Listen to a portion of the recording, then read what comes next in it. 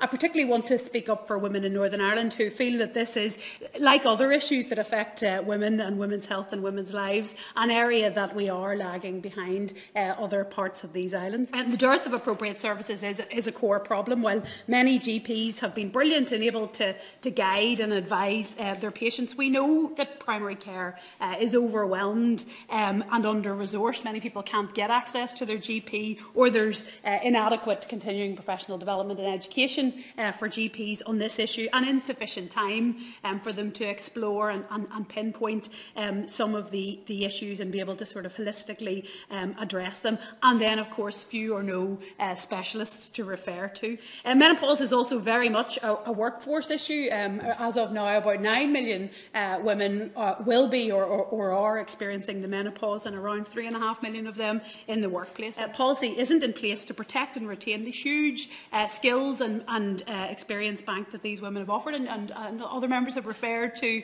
um, this point in people's lives and careers um, when they are particularly uh, valuable, I suppose, for, for the workplace. So this is also an economic issue. It will exacerbate if more women um, are having to leave the workforce. Um, existing issues um, around, for example, the gender pay gap. We're all increasingly aware of the benefits um, in public policy and in decision making and economic activity when women are, are at the table uh, and involved in decision making. There is no doubt in my mind um, that if men experienced a similar universal uh, change, it would be a massive part of political discourse. Like other issues, like menstruation, like women's uh, reproductive health, like uh, paid, low paid care work, like the pension uh, changes uh, experienced by the WASPI women, all of these um, issues like childcare, because they do primarily affect women, I think that's one of the reasons that they, they don't reach the top of the policy uh, agenda. I've been engaging with constituents and others years about the need for a coordinated uh, approach to support on, on the menopause, one that's, that's uh, funded